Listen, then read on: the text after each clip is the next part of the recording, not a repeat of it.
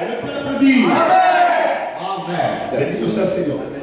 On est sur églises Asie mineure, Alléluia. Et on a commencé un thème très très important, qui est un thème qui touche le milieu, le milieu, on va dire, évangélique, Alléluia, sur cette do- doctrine tirée par les cheveux. Je dis bien tirée par les cheveux, parce qu'elle ne trouve aucun appui réel dans la parole de Dieu. Je vais le bouton. Alléluia. Elle ne, trouve- pas de, de fondement concret dans la parole de Dieu concernant le ministère féminin, le ministère de la femme, alléluia, dans l'église. Béni soit Seigneur. C'est une séduction qui est rentrée dans les églises, et cela part à partir du moment où la femme a voulu s'émanciper, c'est-à-dire elle a voulu se libérer de l'autorité dont elle dépendait, c'est-à-dire de l'autorité de l'homme. Béni soit Seigneur. La femme a revendiqué ce matin, je dis, euh, l'égalité, je vous la parole, des sexes, c'est-à-dire hein, euh, que la femme vaut autant que l'homme, qu'elle vale autant que l'homme. Alléluia. Oui, c'est vrai, sur un plan, alléluia. Bien sûr que la, la femme devant Dieu, elle n'est pas plus que l'homme. D'ailleurs, la Bible nous le dit, que l'homme n'est pas sans la femme. Alléluia. Et la femme n'est pas sans l'homme. Dieu les a créés pour qu'ils soient complémentaires. Béni soit le Seigneur. Amen. Néanmoins, néanmoins, hein, concernant l'Église de Dieu, il y a une structure hein, et que la Bible nous enseigne. D'ailleurs, on appelle les, les- les, euh, les épîtres, trois épîtres de Paul, qui sont la, la première épître de Timothée, la deuxième épître de Timothée et euh, euh, la lettre de Tite, qui sont dites des, des- des épîtres pastorales. Amen. C'est- tout l'enseignement concernant la structure et la hiérarchie établie dans l'Église. Béni soit le Seigneur. Que ce soit ceux qui sont là. Amen. Lève ta main bien fort. Dieu. Un fort et puissant Alléluia. Alléluia. On a pu voir ensemble, frères et sœurs, que bien, de- bien des personnes prennent des textes et les sortent de leur contexte. Ça veut dire quoi? Par un texte et le sortir de son contexte, c'est le sortir, Alléluia, de, de, euh, de la génération, du temps, des personnes, des circonstances dans lesquelles Dieu a parlé de cette façon. Pourquoi Dieu a parlé comme cela? À, une à une telle génération, à un tel temps Il faut tout considérer, le temps, les personnes, l'état spirituel des, des personnes à qui Dieu s'est adressé, quel est le message que Dieu a voulu délivrer? Alléluia. Tout ça, c'est le contexte, le contexte social, le contexte, tout ce qu'on peut dire, hein, culturel, politique, ou que tout qui est là. Chaque génération, alléluia, dans le temps, Dieu a parlé à toutes les générations. Qu'est-ce que qu'ils disent Amen. Amen. Dieu a parlé à toutes les Alléluia. générations. Alléluia. À toute la génération. Amen. Dieu hein, n'évolue pas. Ce n'est pas un Dieu d'évolution. Dieu ne change pas. Il est le même hier, il sera le même. Il est le même aujourd'hui, il sera le même éternellement. Alléluia. Nos camps, Seigneur. Dieu ne change pas. Les politiques ont beau changer, les générations, les cultures ont beau changer. Dieu demeure le même. Et sa parole est le fondement. Béni soit le Seigneur. Vous vous souvenez de ça? Amen. On va prendre l'Apocalypse chapitre 2 pour introduire, et ensuite on va rentrer dans le vif du sujet. Alléluia. Chapitre 2 à partir du verset 11. Béni soit le Seigneur. Vous vous souvenez de la semaine dernière? On a établi ensemble euh, qu'est-ce que c'est que le prophète dans l'Ancienne Alliance et le prophète dans la Nouvelle Alliance? Et on a vu clairement ensemble, frères et sœurs, qu'on ne peut pas parler de prophète en tant que ministère dans l'Ancienne Alliance. Et beaucoup utilisent des personnages, des femmes de l'Ancienne Alliance, de l'Ancien Testament, pour justifier le ministère de prophète. Alors qu'il n'en est rien du tout. On a vu ensemble que les ministères, Éphésiens chapitre 4, ont été donnés pour qui? Pour l'Église, pour le perfectionnement des saints. Alléluia. Alléluia. Pour le perfectionnement des saints. C'est Jésus, Alléluia, qui a fait don, Alléluia, à l'Église. Alléluia. Les cinq ministères, il a donné les uns comme prophètes, les autres comme apôtres. On, on- on a tout ça la semaine dernière. Et on a vu ensemble que l'ancienne alliance, l'ancien testament, est régi sous quoi? Sous une, on appelle comment ça? Une dispensation. Amen. Il y a sept dispensations. Ce sont sept temps dans lesquels Dieu a agi. On a pris l'exemple de la première dispensation de la création, au moment où l'homme et la femme sont créés, la création est créée, béni que Seigneur. On était dans, dans la première dispensation qui est l'innocence. Ça veut dire que Dieu a agi durant cette dispensation qui était régie par l'innocence. C'était l'état de la conscience de l'homme, il était innocent devant Dieu. Lorsqu'il pêche, transgresse, on passe dans une deuxième dispensation. C'est un deuxième temps de Dieu, béni soit le Seigneur, qui est la dispensation de la conscience. Béni soit le Seigneur. Ensuite, on est rentré, et on a vu qu'au fur et à mesure, il y a eu le gouvernement humain, alléluia, et, les, dispensations se sont succédées. Nous sommes aujourd'hui à la sixième dispensation. La cinquième, c'était la loi, béni le Seigneur. Et là, aujourd'hui, nous sommes rentrés dans la grâce. Nous sommes dans la dispensation de la grâce. Et c'est ceux qui disent Amen. Donc, celle qui précède, Alléluia, celle qui précède la grâce, c'est laquelle? C'est la loi. Vous suivez ou pas? La dispensation, c'est un temps. Donc, ce temps, il est passé. On est rentré dans une nouvelle dispensation. Un nouveau temps que Dieu a déterminé, qui est la grâce.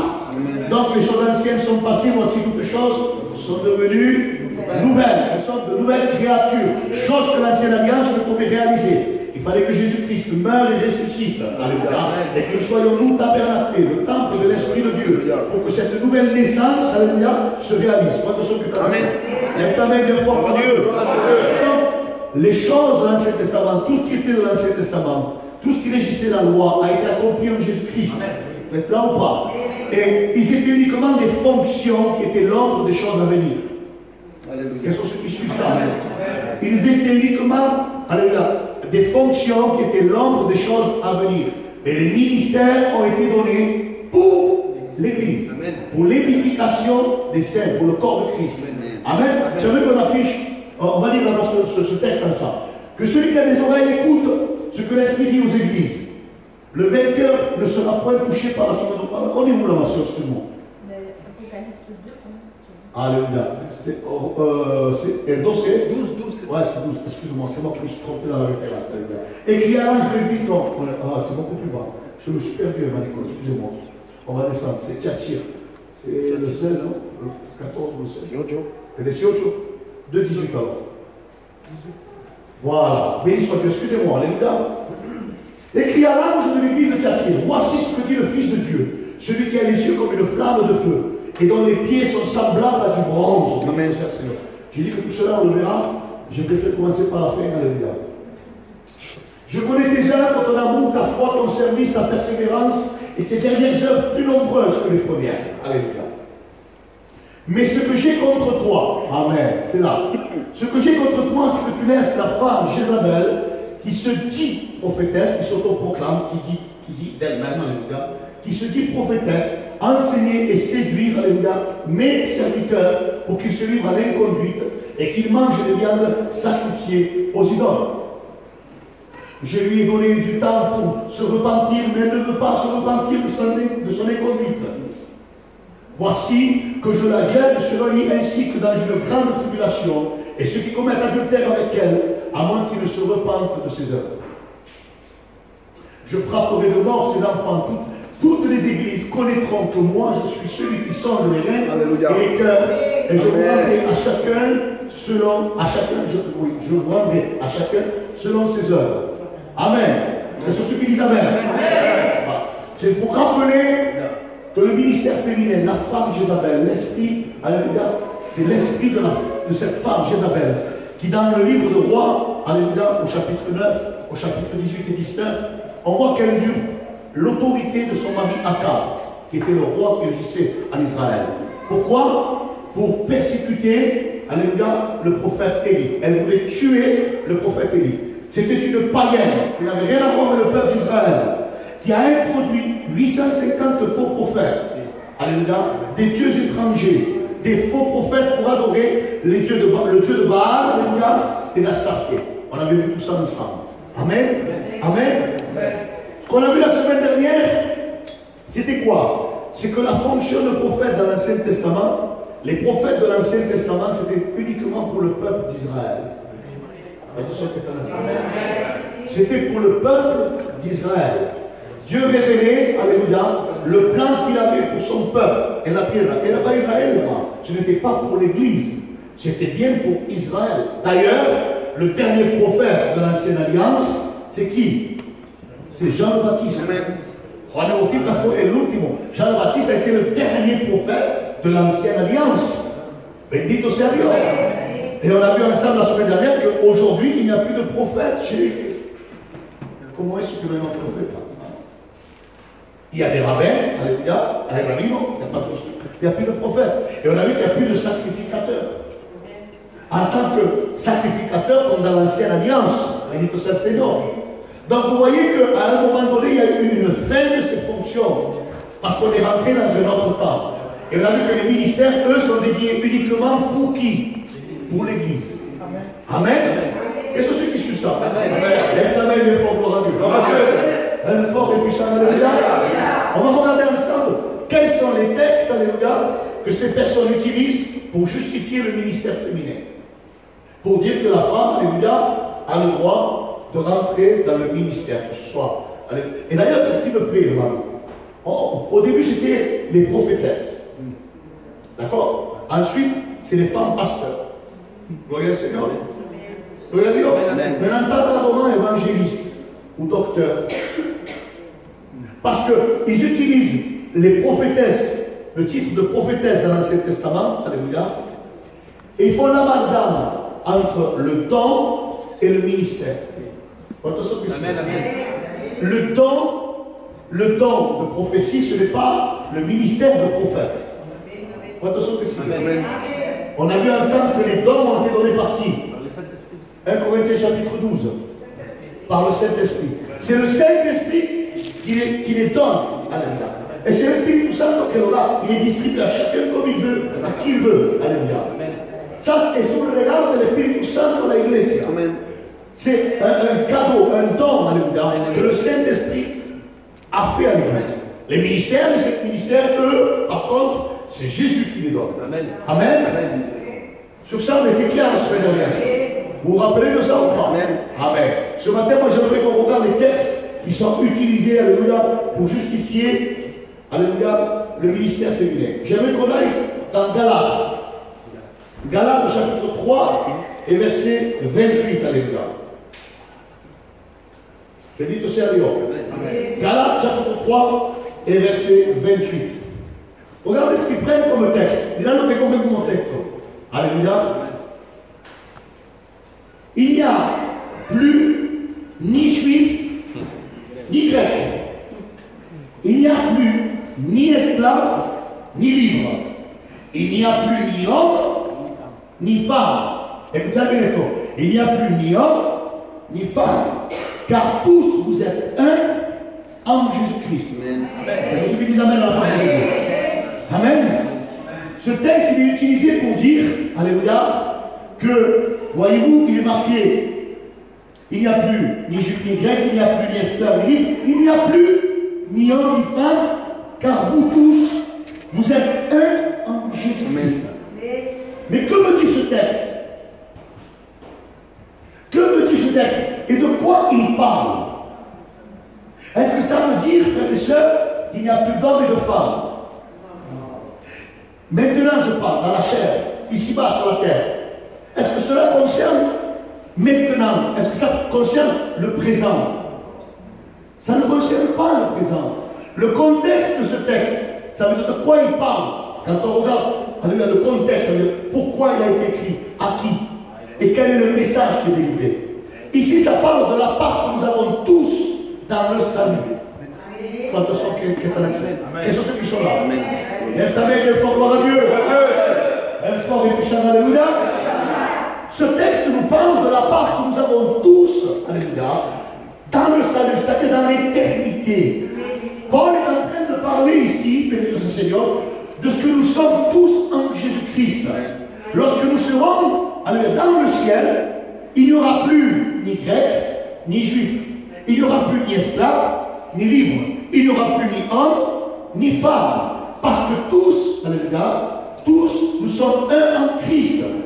Mais ça, ça, ça, s'accomplira dans le ciel, dans l'éternité. Lorsque nous rentrerons dans l'éternité, ce texte nous parle de la part que tous nous avons dans le salut hommes et femmes, béni au Seigneur.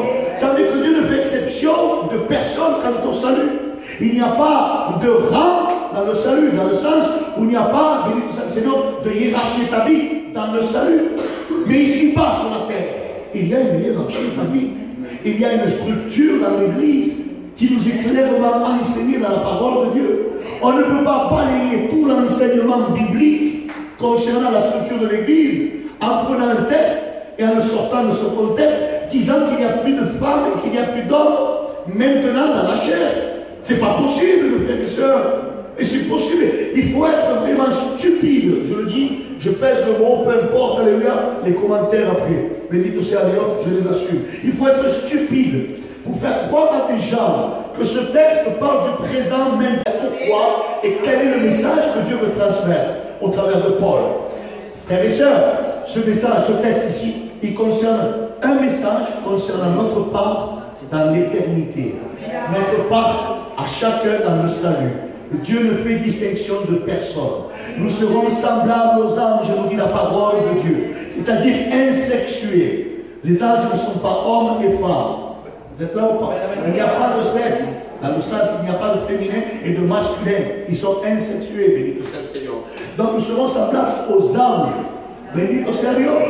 Donc, prendre ce texte, le sortir de son contexte pour dire qu'il n'y a plus d'hommes ni de femmes, alors il n'y a plus de race non plus. Ça veut dire quoi? Que les pays, les, nations n'existent plus? On est, aussi dans le temps, dans des nations, parce qu'on est dans, le temps de la grâce. Et les ministères sont pour toute l'humanité. Elles sont pour l'Église, mais pour toute l'humanité. Dieu a donné les ministères pour l'Église, pour le perfectionnement des saints, en vue de l'œuvre du ministère. Et ce ministère, c'est le ministère de la réconciliation. Vous êtes là ou pas? Alors, bien sûr qu'il y a encore des races. Claro, moi je suis gitan espagnol. Soy gitano, hermano. Et, quoi Ça veut dire que je suis plus gitan, mais ce que je suis, je suis gitan. Les races existent. Elles n'ont pas cessé d'exister. Le chinois, il est chinois. Là, le chinois, il est chinois. Quand le chinois se convertit, il demeure un chinois. Non sé si, si comprendez lo que. Parce qu'on est dans le présent, mais dans la chair. Ce texte, il concerne notre éternité. Il faut être vraiment stupide pour prendre ce texte et faire croire ici que Dieu a enlevé la hiérarchie qui est établie sur l'Église en disant qu'il n'y a plus d'hommes et de femmes. Vous savez, quand on a parlé du voile dans l'Église, quelles sont celles qui étaient là Amen. Je vois beaucoup de femmes sans voile. C'est le reste, on dirait qu'ils n'ont pas compris le sens de ce message. C'est dommage. Vous savez qu'il y a une hiérarchie dans l'Église. Amen. Quantos são que estão aqui, irmão? Lève ta main de fogo a Dieu. É fort et puissant, alléluia. Há uma hierarquia établie na igreja. C'est ce que dira Paul. Je ne veux pas que vous soyez ignorants. Alléluia. Je veux que vous sachiez alléluia, que Christ est le chef de tout homme que l'homme est le chef de la femme et que Dieu est le chef de Christ. C'est la hiérarchie établie dans l'Église. C'est la hiérarchie du chrétien. Il faut qu'il y ait cette hiérarchie établie. Pourquoi Parce qu'elle représente le gouvernement de Dieu. Qu'est-ce que c'est qui suit ça Quand on respecte la hiérarchie établie par Dieu dans l'Église, on honore Dieu et on rend témoignage qui gouverne sur l'Église. Mais dès lors, frères et sœurs, dès lors qu'on inverse les rôles, alors frères et sœurs, on n'est plus dans la soumission et l'obéissance à ce que Dieu a établi dans l'Église. Dieu veut qu'on respecte cette hiérarchie.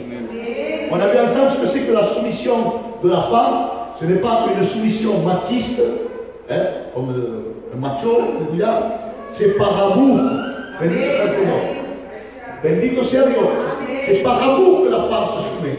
Et dans le but de quoi? D'élever l'autorité que Dieu a placée sur elle. En élevant l'autorité qui est sur elle, elle élève Christ. Amen. Et on a vu pourquoi. C'est la portée spirituelle de la hiérarchie dans l'Église. Quand la femme met le voile, Alléluia, elle représente qui? Vous vous souvenez de ça ou pas? C'est à cause de qui qu'elle le met? Jésus crois que je prêche pour rien. Alléluia. Je vais parler de prédical et je vais mettre des vidéos. Amen. Et c'est dans les cas sur non Eh oui. Alléluia. À cause de qui? Les anges. À cause des anges. À cause des anges.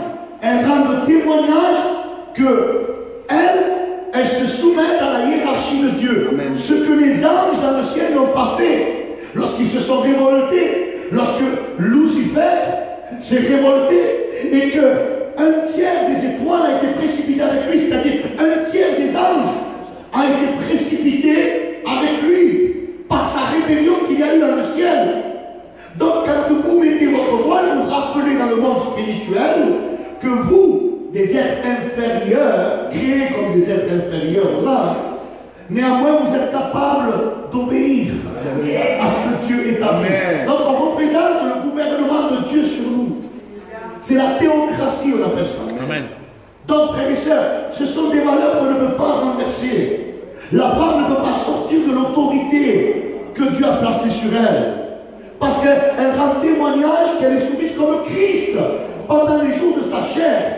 Nous dira Romain Hébreu 7, 8. Pendant les jours de sa chair, il a appris, béni soit le Seigneur, l'obéissance.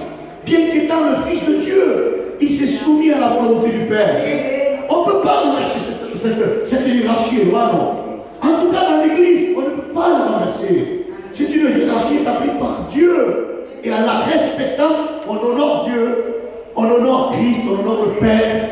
Béni soit le Seigneur. Alors, frères et sœurs, prendre ce texte et, dire qu'il n'y a plus d'hommes et de femmes, c'est le mettre dans le présent maintenant. Et c'est quoi? C'est renverser, renverser, je dis bien, ce que Dieu a établi dans son Église. Et c'est una trama diabolica, c'est ça c'est un bien diabolique, c'est une séduction de l'évolution. Parce que la femme s'est émancipée, la femme du monde, la femme mondaine, s'est émancipée de l'autorité. Elle a revendiqué son droit d'égalité avec l'homme. Eh bien, le monde a renversé cette hiérarchie. Mais que le monde la renverse, c'est une chose. Mais que l'Église la renverse, il faut être vraiment à côté, et alors complètement à côté de la plaque. Et ces serviteurs qui tentent de nous faire, alléluia, comme dit, comme j'ai dit la semaine dernière, ils, ils- ils veulent nous faire tamiser le moucheron et ils nous font avaler le chameau. Hermano, pour l'amour de Dieu, ce texte concerne, je le répète, Galates, chapitre 3, verset 28, concerne la part que nous avons tous Amen. dans l'éternité. Mais ce n'est pas dans le présent. Ça, ça, a- ça a une portée spirituelle et éternelle. Amen. Mais ce n'est pas dans le présent. Quels sont ceux qui disent Amen. Lève ta main deux fois, gloire à Dieu. Dieu. Un, un fort et puissant Alléluia. Amen. Regardez ce que dit la parole de Dieu. Dans 1 Pierre chapitre 3, verset 7.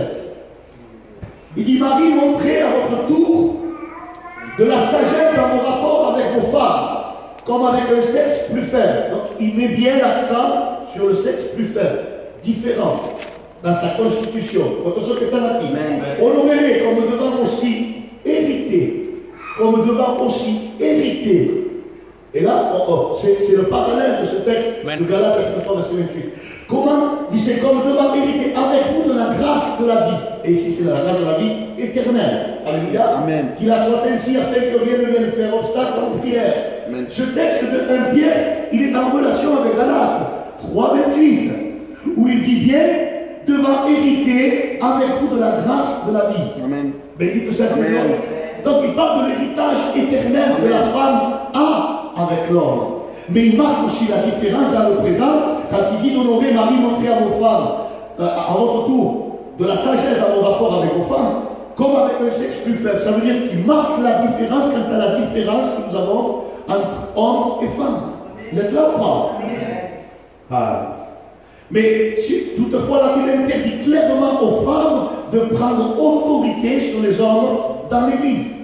Dans l'Ancien Testament, alléluia, il n'y avait pas de femmes, je, je- je le rappelle, je le répète ce matin, il n'y avait pas de femmes sacrificateurs. Si gagnez tout non Amen. No mujer sacerdote. Il n'y a pas eu de femme sacrificateur, sacrificatrice. C'est pour ça que je disais la semaine dernière, je mets au défi, alléluia, je mets au défi n'importe quel théologien, n'importe lequel, le plus grand. Parce que la Bible est plus grande que le théologien. Dites pas Amen. La Bible est plus grande, la parole de Dieu est plus grande Alléluia. que n'importe quel théologien. Alléluia. Et là, alors on peut voir que dans la parole de Dieu, dans l'Ancien Testament ou dans le Nouveau Testament, il n'y a pas eu de femme sacrificatrice. Est-ce que vous suivez ça? Ah. Quand frères et sœurs, je disais la semaine dernière, même les Juifs n'ont jamais permis dans l'Ancien Testament ni dans la, dans Nouvelle Alliance ni maintenant. Ils n'ont jamais permis à une femme de rentrer alléluia, dans le ministère de rabbin, on va dire, dans la fonction de rabbin. Il n'y a pas de femme rabbine. Ça n'existe pas. Si eux, eux, ils se sont trompés sur Jésus, ils sont capables de, de demeurer dans ce fondement et de perpétuer cette, cette- cette hiérarchie et cette position de la femme et de l'homme, nous qui avons la vérité et l'Esprit Saint pour nous conduire dans toute la vérité, on tomberait dans le piège et le travers d'introduire la femme dans le ministère, alors qu'elle n'est pas, elle n'a pas droit au ministère, elle n'a pas le droit d'enseigner, on va regarder les textes de la parole de Dieu? Hermano, c'est une hérésie, une folie, frères et sœurs. Les Arabes, les musulmans, vous verrez jamais une femme imam. Ils sont dans le mensonge, mais ils respectent cette loi établie, cette hiérarchie. Et nous qui sommes l'Église de Dieu, avec la connaissance que nous avons de la parole de Dieu, on va tomber dans ce travers, dans cette séduction de la femme Jézabel qui séduit les serviteurs, qui se dit prophétesse. Ça veut dire, elle n'est pas prophétesse. Elle se dit, elle s'auto-proclame. Ce qu'elle n'est pas. Est-ce que je parle avec eux Lève ta main fort gloire à Dieu. Comment ça se fait que tous les apôtres choisis par Jésus étaient des hommes? Tous les apôtres, tous les apôtres de la Nouvelle Alliance. Il n'y a pas eu une seule femme à la tête d'une église. Et on va regarder ensemble qu'il y en a qui veulent interpréter certaines choses, certains mots, certaines paroles. Ils veulent tirer à l'état euh, euh, par les cheveux et jouer sur les mots alors que la Ta clara, elle est limpide sur ce, sur ce sujet-là. Il n'y a pas de dénigration de la femme. Au contraire, elle a un rôle à jouer. Elle a un rôle et une place dans l'Église. Mais le problème, c'est que si on ne le définit pas bibliquement, soit on restreint la femme à un rang secondaire et moins que l'homme, soit elle prend trop de place et qui ne convient pas selon la hiérarchie et la structure de Dieu. Alors il faut savoir définir son rôle. Où commence le rôle de la femme et où s'arrête le rôle de la femme. Quant à sa place dans le corps de Christ. Qu'est-ce que ceux qui sont là? Lève ta main et fort gloire à Dieu. C'est bizarre, aucun apôtre, aucun apôtre, aucun disciple n'a été une femme. Béni soit le Seigneur. Vous êtes là ou pas? Dans le Nouveau Testament, seuls des hommes peuvent être nommés comme anciens. Comment ça se fait qu'aujourd'hui, il y a des femmes anciennes C'est une ancienne de l'Église.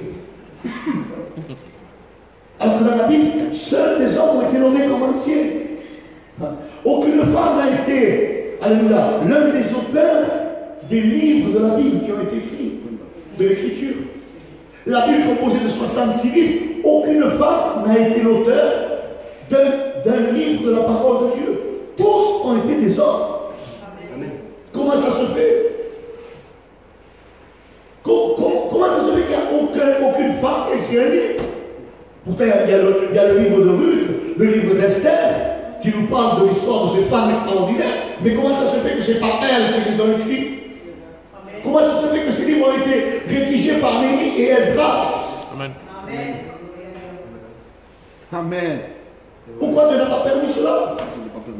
Est-ce que Dieu aurait oublié Béni soit Dieu. Alléluia. Dans l'Ancien Testament, Alléluia, aucune femme n'a eu accès de manière permanente, Alléluia, à la fonction de prophète. Les femmes qu'on va citer, c'est des femmes qui ont eu une fonction temporelle, pour un temps, mais dans des situations bien précises, et non pas en tant que ministère, je le rappelle. C'était une fonction, non pas un ministère. Les ministères apparaissent uniquement à la résurrection de Jésus. Ils sont donnés par Jésus comme un don à l'Église. Pour le perfectionnement des saints, du corps de Christ. Et non pas, alléluia, pour Israël. Israël n'a pas de pasteur, d'évangéliste, elle n'a pas d'apôtre. Alléluia. C'est l'Église qui possède ces cinq ministères. Dites Amen. Alléluia. Dans le Nouveau Testament, les femmes n'ont jamais accédé, alléluia, à la fonction d'ancien, ni de prophète. Il ne s'agit pas d'oubli, mais c'est pour nous quoi? Un exemple propre à nous enseigner, c'est pour nous enseigner.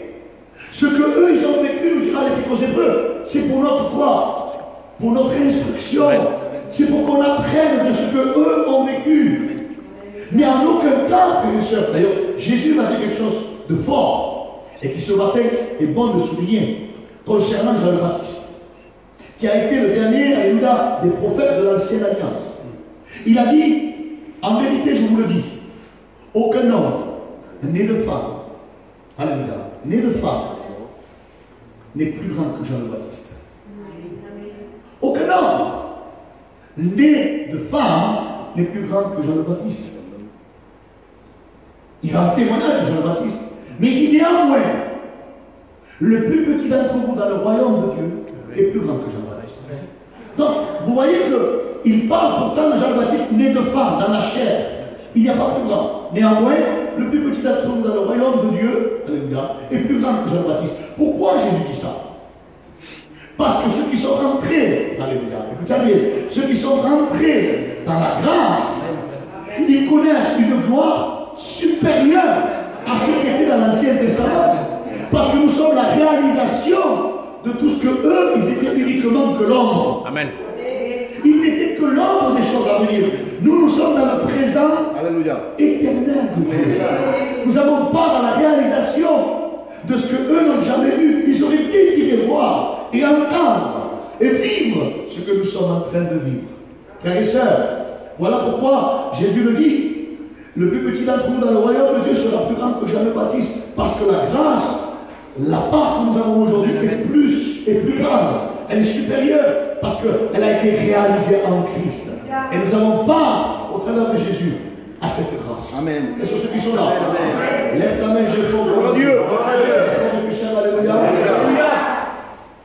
Alors, c'est des exemples propres à nous enseigner. Et pour nous montrer que Dieu a choisi de confier le ministère d'autorité spirituelle, Alléluia, dans l'Église à des hommes qualifiés. Bendito soit le Seigneur. Bendito sea Dios. Alors, frères et sœurs, certains prétendent, Alléluia, que Jésus n'a pas choisi de femme apôtre. Et le as dit la semaine passée, c'est ce que je disais la semaine dernière. Beaucoup disent, Jésus n'a pas, Alléluia, cherche, euh, choisi de, de femmes comme apôtre pour pas euh, scandaliser ou, ou pour pas causer de controverses. Hein? À cause de quoi? À cause de la société de son temps. Alléluia. Comme si Jésus, j'ai dit la semaine dernière, comme si Jésus allait mettre des gants quant à la vérité. Comme si Jésus allait transiger. Jésus a pris des gants pour dire non, je ne vais pas causer de controverse. No quiero, eh, no quiero causar controverse. Non. Je rappelle que Jésus, je l'ai dit la semaine dernière, a traité les juifs pieux, se disaient pieux, race de vipères. Race de víbora. Alléluia. Race de vipère. Qui vous a appris à fuir la colère à venir? Race de vipère. Vous savez ce que veut dire race de vipère pour, pour un juif pieux C'est insulter sa mère. Et et- et c'est une insulte. Il a été plus loin. Il a dit Vous êtes des sépulcres blanchis remplis d'ossements. Ça, c'est profaner le juif. Et, et curare. En vérité, c'est l'injurier. Dire à juif pur qu'il est un, sépulcre blanchi, c'est une insulte. On appelle ça, alléluia, des expressions euh, judaïques. Los judíos tenían expresiones, des expressions comme nous. Alléluia. Nous, les gitanes, on a beaucoup d'expressions. Quand notre femme frappe le petit trop fort, elle a, elle a été trop forte. Elle a été mutilée, elle a été mucho, elle était. Le petit reste noir, on lui dit avec un air ironique, les fuera pegar más fuerte. Vous savez ce que ça veut dire ça La mano te se ve cortada.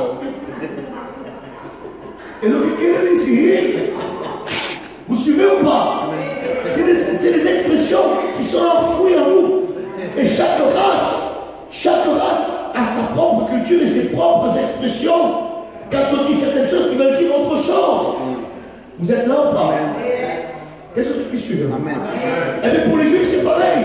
Il y a des expressions juives, frères et sœurs, qui veulent dire des choses plus profondes que l'on croit. Et quand Jésus a dit ces, ces- paroles aux juifs, c'était une injure. Il les a injuriés carrément. Il a été plus loin en leur disant quoi? Vous avez pour père le diable. Voilà. Et ce coup-là, ils ont des fouilles dans En vérité, c'est une insulte terrible que ici, que ne peut pas le diable. Eux qui se revendiquent d'Abraham et de la promesse, eux qui sont orgueilleux et leur dire qu'ils sont les fils du diable, mais c'est, leur manquer profondément de respect. Alors, voyez-vous que, que, Jésus a pris des gants et de la retenue Juste pourquoi? Pour, pour ne pas causer de controverses et à cause de ça, à cause de la société et du moment où il était et de la culture de son peuple, il a mis des gants pour dire non, je ne vais pas prendre une femme quand même, hein, ça serait de la provocation. Il est rentré dans le temple, il s'est fait un fouet avant d'y rentrer, il a renversé toutes les tables, il a jeté les, les de pigeons dehors. Voilà le Jésus qui a pris des gants pour pas créer de controverse. À qui on peut faire croire ça? Qui peut gober cette, cette connerie comme explication, comme argument? Pour justifier que la femme, elle a, non, mais je suis l'ami des gants, tu comprends, je ne pas faire de controverse par rapport à la société, la culture. il faut arrêter. Trop pointu, c'est trop pointu ça. Ça pour moi c'est trop pointu, c'est trop, c'est trop théologique. Ça devient stupide. La Bible elle est claire. Il y a des choses qu'on ne peut pas interpréter ni tirer. Euh, hein, frères et sœurs, on va essayer de sortir quelque chose. Non, on doit le laisser tel qu'elle est, tel que la parole de Dieu, elle le déclare. Sont ceux qui sont là Amen. Fort, gloire à Dieu. Un fort et puissant, alléluia. Béni soit le Seigneur. Quand on regarde, les premiers anciens de l'Église furent des hommes. Regardez ce qu'il dit, Acte chapitre 6, du verset 1 au verset 3. Acte chapitre 6 les premiers anciens de l'Église. Regardez, en ce temps-là, le nombre des disciples augmentait. Alléluia. Les hellénistes murmurèrent contre les Hébreux. Les hellénistes, c'est les Grecs. Alléluia. Murmurèrent contre les Hébreux parce que leurs veuves étaient négligées dans la distribution qui se faisait chaque jour. Les douze, donc les douze apôtres, Alléluia, convoquèrent la multitude des disciples et dirent Il n'est pas convenable que nous laissions la parole de Dieu pour servir au tables. Parce qu'il devait s'occuper des veuves. C'était une tâche que les Juifs devaient assumer.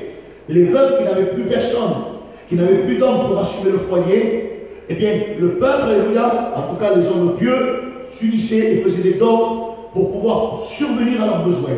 Et les apôtres étaient beaucoup pris, mucho par c'était du social, aujourd'hui c'est comme si on ferait du social. C'est comme si on ferait une banque alimentaire et qu'on donnerait des denrées alimentaires à des personnes qui sont dans le besoin. Et eux, ils négligeaient la prédication de la parole parce qu'il y avait trop de misère, trop de veuves. Donc ils, devaient assumer ce rôle en même temps, béni de Saint-Seigneur. Et là, ils vont dire non, ça suffit maintenant, on va convoquer tous les disciples, béni de Saint-Seigneur. Il est c'est pourquoi, frère, choisissez parmi vous sept hommes de qui l'on rende un bon témoignage, qui soit plein d'Esprit Saint et de sagesse, et que nous chargerons de cet emploi. Qu'est-ce qu'on voit ici? On voit qu'ils choisissent des hommes pour assumer cette tâche. Ce sont les premiers diacres.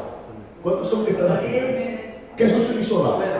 Lève ta main bien fort, gloire à Dieu. Un fort et puissant, alléluia.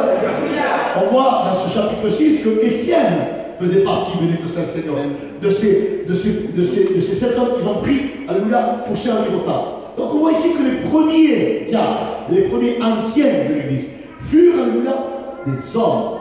Béni de Saint-Seigneur, quand il s'est levé une contestation parmi les hellénistes, certains le faisaient, hein, ils faisaient par rapport au fait que leurs veuves étaient négligées, en un conflit entre les Grecs et les Juifs.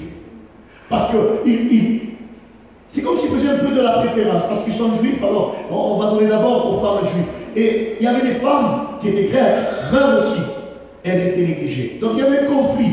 Mais dit que ça, c'est Quels sont ceux qui suivent ça alors? Ta main de fort à Dieu. Un fort et puissant, alléluia. Donc ils vont choisir sept hommes pour s'occuper de cette affaire. C'est les premiers diacres, alléluia. Et à l'intérieur d'eux, alléluia, il n'y avait pas de femmes. Amen. Vous êtes là ou pas? Que dit à propos, alléluia, la Bible à propos des femmes anciennes? Amen. Voilà ce qu'elle dit 1 Timothée. 1 Timothée chapitre 2, versets 11 et 12. Voilà ce que dit la parole de Dieu. Que la femme s'instruise en silence avec une entière soumission. Je ne permets pas à la femme d'enseigner. Je ne vois pas ce qui est difficile à comprendre. Je, ne sais pas que tu entends là. Hein. Je ne vois pas pourquoi il faut discuter de ça avec des gens qui sont trop centrés sur les paroles. Ne connais pas la femme d'enseigner. C'est clair, hein Ni de prendre l'autorité sur l'homme, mais qu'elle demeure dans le silence. Car Adam a été formé le premier, Ève ensuite. Il parle de la création, à l'origine déjà. On voit ici que ce n'est pas social ni culturel. Comme beaucoup disent, oui, mais euh, les épîtres pauliennes, les, les, épîtres de Paul, les 13 épîtres, les épîtres pauliennes, ils attribuent, ils attribuent les épîtres à Paul, tout à fait normal, mais l'inhérence de la parole. C'est-à-dire la source. La source par laquelle nous a été révélé. L'inspiration de l'Esprit de Dieu qui a inspiré l'Écriture. De Timothée, on est sur Timothée, de Timothée, la seconde, la seconde au chapitre 3 verset 16, nous dit quoi? Que toute écriture est inspirée de Dieu. Amen. Est-ce qu'on peut l'afficher s'il te plaît, ma soeur? De Timothée, chapitre 3, verset 16. Si on commence à dire, parce que c'est ce qu'ils ce que tentent, qui disent que la, la femme, à part au ministère, hein, à part dans le ministère, ils, tentent de faire quoi? D'attribuer à, Paul euh, euh, les lettres, en tout cas pauliennes, tout ça, Seigneur, et surtout le premier et le deuxième épître de Timothée et l'épître de Tite, comme quoi c'était euh, une injonction de Paul. C'est lui qui a dit ça. Hein, il a décidé, comme ça, de dire euh, Je ne permets pas à la femme d'enseigner. Voilà. Parce que peut-être il avait. Alors regardez un peu, ça va loin. peut-être qu'il était misogyne, il avait quelque chose contre les femmes, une dent contre les femmes. Et t'as y a Fille de l'intérieur on dit, c'est ce que eux disent, en tout cas ceux qui veulent justifier le, ministère féminin, que Paul tenía la mujer, qu'il était misogyne. Alors, frères et sœurs, la Bible dit que toute écriture est inspirée de Dieu. Toute écriture, c'est des écritures bibliques, les écritures qui composent la Bible, les livres qui composent la Bible. Toute écriture est inspirée de Dieu. Et utile, pourquoi Pour enseigner, pour convaincre, pour redresser, pour éduquer, dans la justice. On peut descendre, ma soeur, s'il te plaît? Afin que l'homme de Dieu soit, encore une fois, hein, l'homme soit adapté et préparé à toute bonne œuvre. On voit ici que même ici, l'enseignement de l'écriture, alléluia, est réservé à l'homme. Est-ce que je parle à quelqu'un? Lève ta main et à Dieu. Regardez le danger. Pour ceux qui, ceux qui veulent écouter ça, que Dieu fasse que ça apporte une conviction dans leur cœur. Si on commence à attribuer ces textes en fonction de l'inspiration, de l'état de pensée, à Paul et non pas à Dieu, on remet en question l'inhérence, c'est-à-dire la source, l'inspiration de la parole de Dieu. Ça voudrait dire quoi Qu'on peut prendre n'importe quel texte, et l'attribuer à l'auteur de ce texte? N'importe quel livre de la parole de Dieu est attribué à la sensibilité de, l'auteur? Alors on peut prendre n'importe quel texte d'Ésaïe et dire Ésaïe a, écrit ce texte parce qu'il pensait comme ça. C'était sa pensée à lui. Vous imaginez un peu c'est remettre en question l'inspiration de l'écriture et attribuer. Alors ça veut dire quoi? On prend n'importe quel texte et on attribue à, l'appréciation personnelle, culturelle, sociale, et on lui donne une interprétation en dehors du contexte de l'inspiration par lequel il nous a été légué. Alors, on prend la Bible, on la on la déchire, on, fait on en fait ce qu'on veut, on lui donne une interprétation humaine. Ferme la Bible, on l'a. Puisque Paul, Paul, il avait quelque chose contre les femmes, donc il, il nous a influencés. C'est une influence humaine. Ah non, pour l'amour de Dieu. Mais c'est stupide, c'est dangereux, c'est diabolique. Et diabolique, je ne comprends pas, je complètement comment des personnes vont jusque-là, vraiment. Attribuer à Paul un quelconque, une quelconque influence personnelle. Et ils, utilisent quoi? Euh, euh, ce n'est euh, pas le Seigneur, mais c'est moi qui vous dis, qui dit ah, ces expressions-là. Hein? Ce n'est pas le Seigneur, mais il donne son conseil. Et même quand il donne son conseil, Même quand il donne son conseil, il parle par, par rapport à son expérience dans le ministère et sous l'inspiration de l'Esprit. Il est en train de donner un conseil, oui. Comme un serviteur de Dieu, lorsqu'il est inspiré par l'Esprit de Dieu, il donne un conseil en fonction de, son expérience avec Dieu, de son expérience dans le Seigneur. Vous êtes là ou pas? Mais c'est pas pour ça, frères que c'est une, c'est une interprétation personnelle. Paul était capable de donner un conseil. Conseil a été permis qu'il soit écrit dans la parole de Dieu, c'est parce que Dieu voulait que nous prenions ce conseil. Parce qu'il était sous l'inspiration de l'Esprit. Alors dire que Paul avait une temps contre les femmes, ou que c'était simplement un conseil personnel, en fonction de, de la culture du moment et de l'état social et. Vous savez ce que c'est ça C'est contre les Écritures? Et je vais aller plus loin. Galates, chapitre 1er. Est-ce qu'on peut l'afficher? Galates, chapitre 1er. Et à partir, je crois, du verset 6, ma mémoire est bonne. Il a localisé. Je m'étonne que vous vous détourniez, ici, si vite de celui qui vous a appelé par la grâce de Christ pour passer à un autre évangile. Je m'étonne, dit Paul, que vous vous détourniez si vite. Que dit Qui- Vous renversez tout le fondement de la parole de Dieu. Vous prenez les textes, vous les sortez de leur contexte pour alors que Dieu le dit clairement, et que c'est établi clairement, et qu'il y a une structure de l'Église, et qu'il y a une hiérarchie dans l'Église. Vous voulez renverser ça Alors que euh, ça, sert à quoi qu'on- Ça sert à quoi, frères et sœurs, qu'on enseigne la parole de Dieu? Ça sert à quoi qu'on parle de la structure dans l'Église?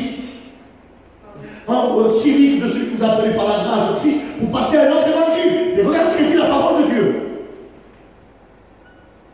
Non pas qu'il y ait un autre évangile, il n'y a pas d'autre évangile. Il n'y a pas d'autre- il n'y a pas une autre Bible. Comme là, là le- le- il est en train de faire une Bible, le pape. L'a. Il est en train de faire une révision de la Bible. Parce que quand on a une nouvelle version de Bible, achetez des Bibles. Ne restez pas avec des téléphones. Vous savez bien que c'est Achetez des Bibles. C'est important. Parce que les, les sociétés de- les sociétés de- d'impression, d'imprimerie vont mourir. Elles vont s'éteindre. Parce que les chrétiens n'achètent plus. On est avec les smartphones et les applications. C'est bien, je l'ai, moi. Je suis le premier à l'avoir. Mais j'ai j'ai- j'ai pas j'ai j'ai le dico, tu dis, Différentes, hermano.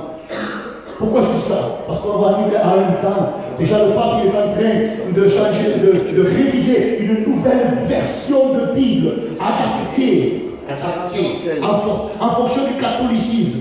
Nous, on n'est pas des catholiques, frères et sœurs. Alléluia. Nous avons un missel qui reste leur missel et qui ne nous touche pas notre sainte, notre sainte Bible. Que c'est Dieu sous missel, qui reste avec leur missel. Alléluia. C'est à Dieu. Mais non, il s'attaque à la Bible. Parce qu'il y a l'esprit écuménique. Qu'est-ce que c'est que l'esprit écuménique C'est rassembler toutes les religions. Donc ce- cette Bible qui va sortir, elle va s'adapter à toutes les religions. Elle va convenir aux témoins de Jéhovah, aux mormons, elle va convenir aux, aux- musulmans, elle va convenir aux catholiques, elle va convenir à tout le monde. Il va y avoir du pain pour tout le monde. L'esprit écuménique, c'est l'esprit. Écoutez-moi bien, bien sûr, le Seigneur de écoute. Non, dis-lui en écoute.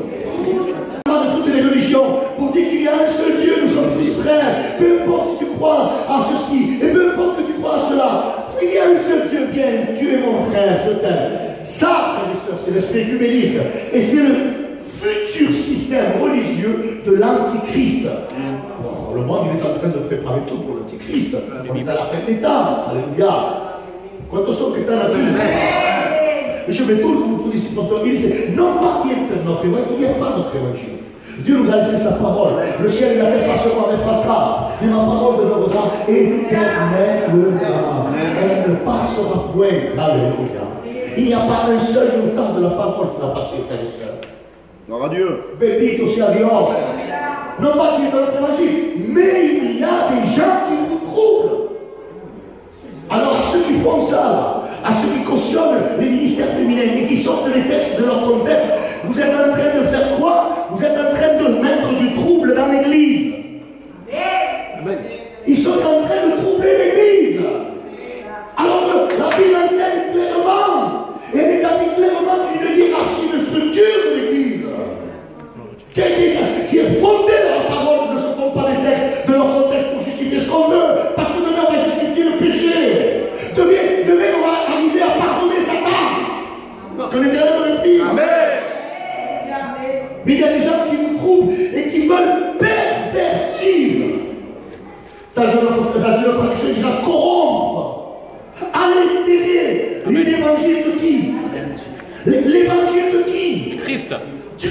Christ.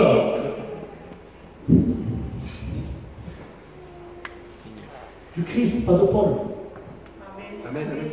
Pas de Jacques. Pas de Marc, ni Luc, ni Jean, ni Matthieu, ni de Pierre, mais du Christ. L'évangile qui est son origine, la parole qui est son origine, du Christ, du divin. Bendito amen. C'est ce qui suit. Regarde. Lève ta main et dis fort gloire à Dieu. Gloire à Dieu. Voyez ça pour terminer ça a que dit Mais si nous-mêmes, regardez Paul, regardez Paul jusqu'à où il va. Si nous-mêmes, si nous sommes au minimum, ou si un ange du ciel vous annoncerait un autre évangile, ou différent, un évangile différent de celui que nous avons annoncé, qu'il soit anathème. Il dit bien, Paul, si nous-mêmes, Amen. ça veut dire quoi? Qu'un serviteur de Dieu, je le répète, je l'avais déjà dit intérieurement, il ne peut pas dire blanc aujourd'hui, gris demain, noir après-demain, violet dans trois ans. Non. Si nous-mêmes, si on vous prêche autre chose que ce qui est marqué dans la parole, que ce que nous avons annoncé, et que demain on change d'opinion, et qu'on vous donne notre opinion, interprétation personnelle en fonction de l'évolution des choses, de l'évolution de la société, parce que la société cautionne le mariage gay, on va, alors on va chercher dans la parole de Dieu. Il y en a qui le font. Allez sur Internet, vous allez voir. Dieu dit contre les homosexuels. Ils vous prennent des textes bidons de la parole de Dieu. Ils les sortent de leur contexte. Ils leur donnent une interprétation pour vous faire couper que Dieu, il pardonne. Il n'est pas contre le fait que deux hommes se marient ensemble. Et que de... Hermano, por l'amor de Dieu.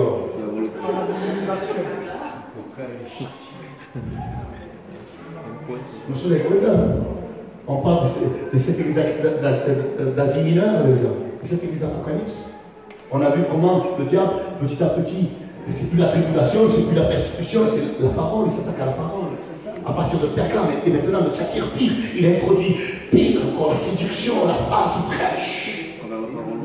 Vous imaginez un peu le piège dans lequel l'église, la pseudo-église, parce que pour moi ce ne sont pas des églises, hein. je, l'ai dit dans ce message, je le répète ce matin, ceux qui écoutent des femmes prêcher, ils écoutent un démon prêcher, un diable.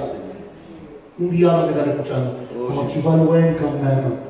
Del Seigneur. Parce qu'on n'est plus dans le contexte alléluia, de la Bible. On n'est plus dans le contexte de la parole de Dieu. On ne respecte plus ce qui est établi. On fait ce qu'on veut. Qu'il soit anathème, même si un ange, un ange viendrait vous annoncer votre évangile. Dis à celui qui côté de toi, écoute. Écoute. Je vais prendre un texte, pour, vous dire que Paul ici, Paul ici, il est en train de prophétiser, mais il ne le sait pas. Paul est prophétisant de qui Mais il ne le sait pas, Paul. Et là, on voit qu'il est inspiré de l'Esprit. Suivez ou pas?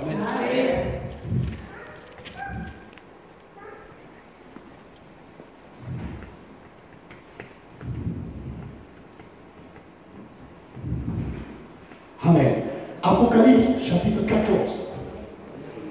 Vous êtes là ou pas Apocalypse 14, 6.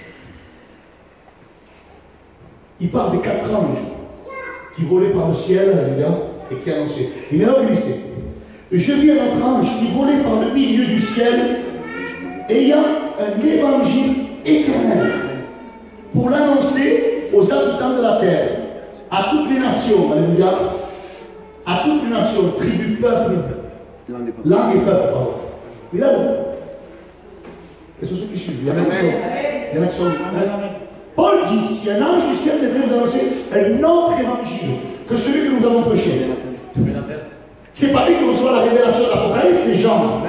Donc il ne sait pas que Jean va recevoir cette révélation, qu'il y aura un ange, alléluia, un ange qui annoncera, alléluia, un évangile éternel pour l'annoncer aux habitants de la terre. Il est en train de prophétiser. Si un ange du ciel vient nous annoncer un autre évangile, et Jean nous dit qu'il y aura un ange qui volera dans le ciel.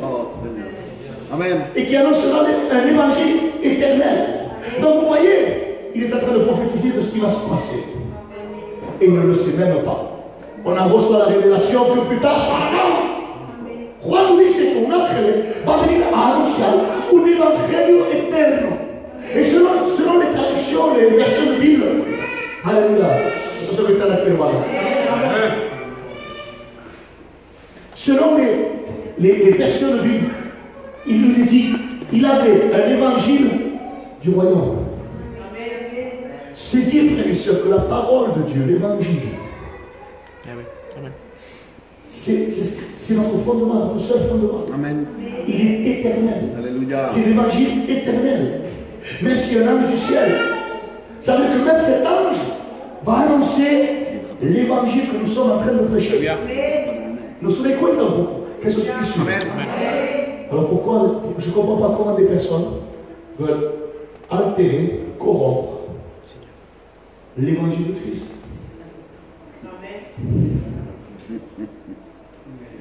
Est-ce que je parle avec eux Lève ta main, Dieu, fort, gloire à Dieu. Un fort et puissant, Alléluia.